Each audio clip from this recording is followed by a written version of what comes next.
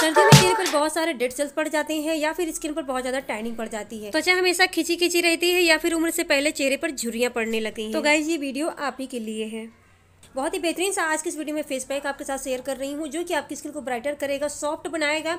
Skin के dead cells को भी रिमूव करेगा स्किन को ग्लोइंग और हाइड्रेट भी करेगा। सो गाइज़ वीडियो बहुत हेल्पफुल है तो प्लीज़ वीडियो को लाइक करें। चैनल पर पहली बार आए चैनल को सब्सक्राइब करके बेल आइकन को प्रेस कर दें। इसी तरह की यूजफुल वीडियो देखते रहने के लिए। और कोई भी क्वेरी है तो प्लीज़ हमें कमेंट करके ज़रूर बताएँ। तो चलिए आज की वीडियो स्टार्ट करते हैं। इस skin brightening skin softening face pack को बनाने के लिए हमें क्लीन बाउल लेना है। उसमें हम लेंगे रोज पेटल पाउडर यानी कि गुलाब की पंखुड़ियों का पाउडर एक चम्मच हमें रोज पेटल पाउडर लेना है यहाँ पर।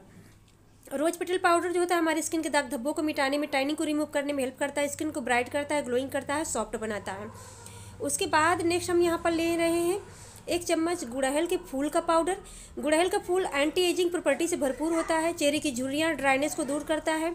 स्किन को सॉफ्ट बनाता है, ग्लोइंग बनाता है, स्किन पर जल्दी एजिंग की प्रॉब्लम नहीं आने देता है। नेक्स्ट हम यहाँ पर ले रहे हैं कॉफ़ी पाउडर, जो कि हमारी स्किन को लाइट एंड ब्राइटन करता है, हमारी स्किन पर पड़े हुए डार्क स्पॉट्स को रिमूव करता है, टाइनिंग को रिमूव करता है। आधा चम्मच हम यहाँ पर कॉफ़ी पाउडर लेंगे।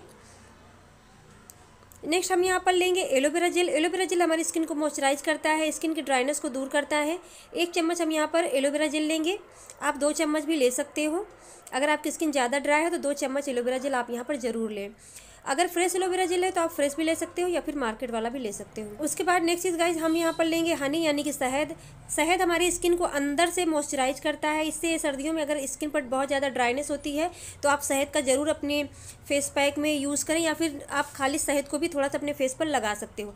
ये स्किन की ड्राइनेस को दूर कर सॉफ्ट बनाता है। डार्क स्पॉट्स पिंपल एक्ने की जो भी दाग धब्बे रहते हैं, उन्हें दूर करने में मदद करता है। स्किन को लाइट एंड ब्राइटन करता है ग्लोइंग बनाता है। एक चम्मच शहद हम यहाँ पर लेंगे।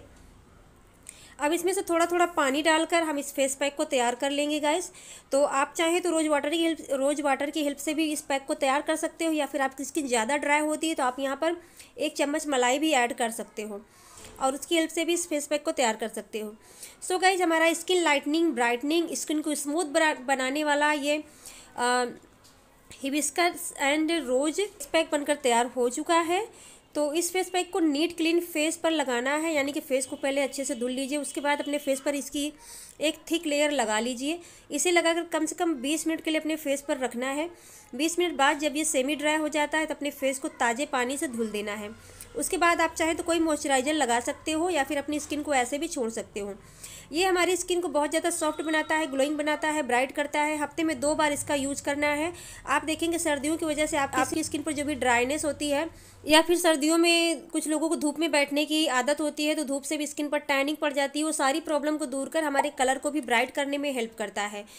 और ये हमारी स्किन को अंदर से सॉफ्ट बनाता है जिससे हमारे चेहरे पर ड्राइनेस नहीं आने पाती। साथ ही ये रिंकल को भी रिमूव करने में भी बहुत ज़्यादा मदद करता है। बहुत ही हेल्पफुल फेस पैक है गाई तो आप इसको ज़रूर ट्राई अपना एक्सपीरियंस हमें कमेंट बॉक्स में ज़रूर बताएँ। वीडियो को लाइक करें चैनल सब्सक्राइब करें कोई भी क्वेरी तो हमें कमेंट करके पूछ सकते हैं। फिर मिलेंगे नेक्स्ट वीडियो में। Thanks watching take care bye